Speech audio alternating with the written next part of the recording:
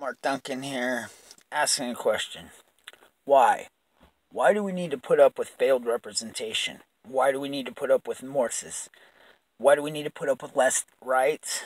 Why do we need to put up with a liberal party that is merely attacking our Constitution as well as our American citizenship? The question is why? Well, we don't. What we need to do is we need to start standing up. We need to start uniting. We need people like myself running for offices all over each state in this nation.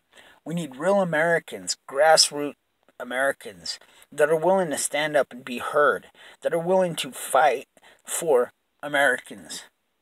That's why I am part of the Americans First Party because we must stand for America. We must stand for our constitutional rights and we must continue to protect them. Otherwise, there will be a time in this nation, a time real soon, where the American dream is gone. Capitalism has turned to socialism. Our American rights are sold out or subverted. And we no longer have the right to protect ourselves from even our own government. Our borders will be fall, will be gone.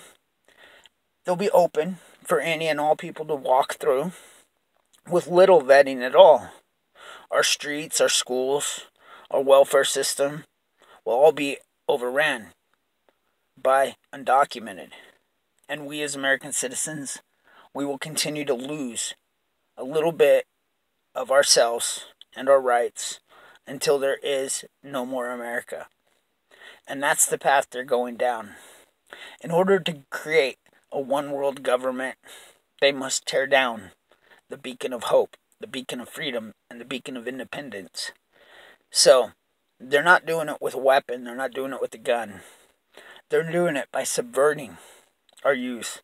They're doing it by stripping away our rights through mandates and by taxing us out of our homes and our jobs. So please stand up. Unite.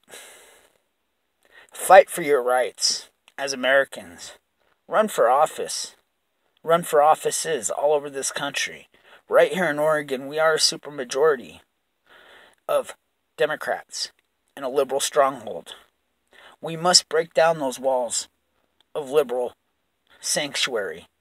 And we must build up our ranks so that we can finally start to prosper here in Oregon. Thank you for watching. Thank you for listening. God bless. Vote for Duncan as Oregon's next governor. Peace.